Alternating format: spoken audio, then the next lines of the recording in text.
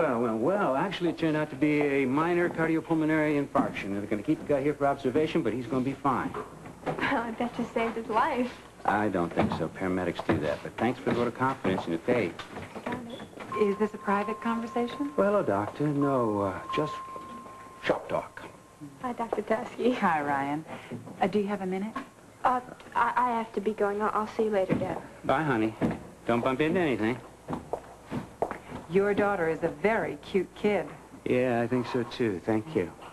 Takes after her dad. No, uh, fortunately, she looks like her mother. Oh. I'm very contemporary. Did you know that? Contemporary? Hmm. Direct. Yeah, somehow I did. I like contemporary women. Actually, they fascinate me. Hmm. Want to be fascinated tonight? Uh, tonight, Hmm. I have a column that I have to get out. It's a deadline. that Oh, can't- there's no problem. Another time, perhaps. You can count on it. I I gotta run. See you later. You certainly will.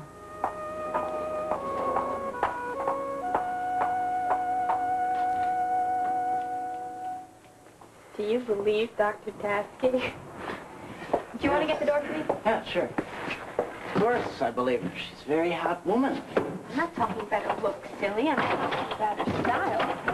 What, uh, what's wrong with her style? Well, she sure has got an eye out on Dad. If you ask me, I think he's a lucky man. She doesn't make any attempt at hiding it, does she? It's good. Oh, do you have any change? Oh, no. That's what I like to hear. A modern woman. Maybe, uh, get this. Maybe you could, um, get some lessons from her or something. Well, I think she's planning on giving Dad some lessons. Well, you should check it out. You know, it could be very, very interesting. Creep. Um, I was wondering, uh, would it be all right if I, uh, saw you tonight? No, not tonight, DJ. I, I have a lot of schoolwork. I mean, it's been busy, but I'm having a great time. Cool. Oh, student council. I mean, what a trip that is. I mean, take yesterday's, you know, meeting, for example. I mean, they have no idea about Robert's rules for order. The place was mass chaos. Why don't you just get this Robert dude to, uh, straighten them all out? Well, there, there's no Robert. Actually, I'm sure there was once, but right now it's just like a parliamentary procedure. It's a format for conducting orderly meetings. Hmm. Excuse me for saying something stupid. DJ, don't be that way. I think it's cute. Yeah, it's me, old DJ, cute and dumb.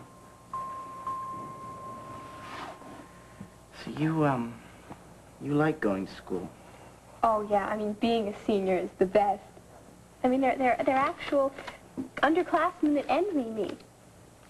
And then there are the people who come in to counsel you about colleges, and there are the college guys who come in and try and recruit you to their schools. I mean, I feel like such a big deal. So, uh, you're, you're planning to go to college? Oh, well, yeah, of course. I mean, you have to go to college if you ever...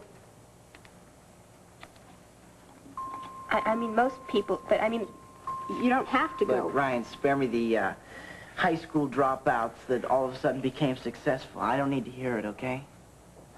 I really didn't mean it the way it sounded. I know. Okay, I'll shut up. How's that? Um, how was your day? I was just full of excitement. Yeah?